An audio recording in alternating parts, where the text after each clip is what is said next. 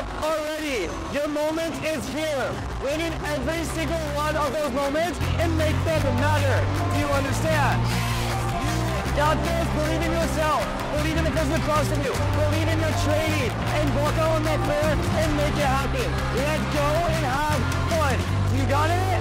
No, no, no, no, no. I say, you got it? You have worked hard.